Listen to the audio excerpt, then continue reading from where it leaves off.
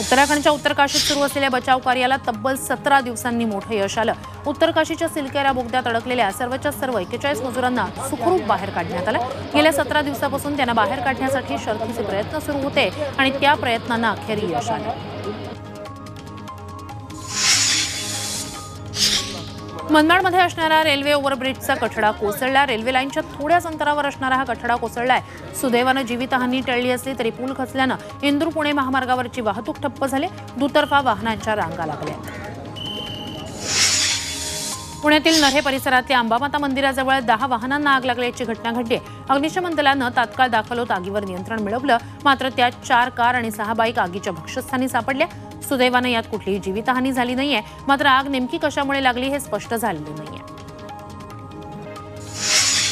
पुणे सोलापूर राष्ट्रीय महामार्गावर ट्रक चालकाचा हृदयविकाराच्या झटक्यानं मृत्यू झालाय.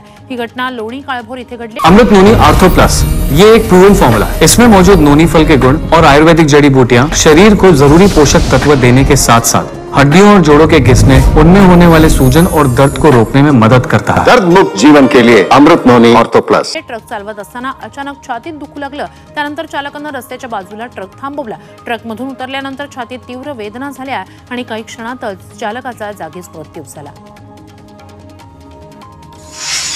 सिंधुदुर्गच्या मालवण बंदर हद्दीत सागरी पर्यटनाला कालपासून बंदी घालण्यात आली चार डिसेंबरला नौदल दिन कार्यक्रमासाठी राष्ट्रपती द्रौपदी मुर्मू पंतप्रधान नरेंद्र मोदी इथे येणार आहेत. यासाठी सुरक्षेच्या दृष्टिकोनातून हा निर्णय घेण्यात आलाय. त्यामुळे पर्यटकांचा हिरमोड झालाय.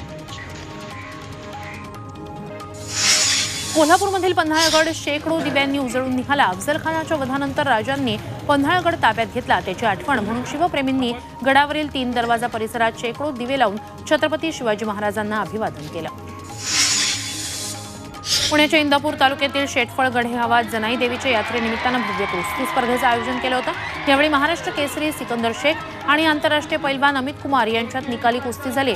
ज्यात सिकंदर शेखनं मैदान मारलं. ही कुस्ती स्पर्धा पाहण्यासाठी कुस्ती शौकीनांनी मोठी गर्दी केली होती.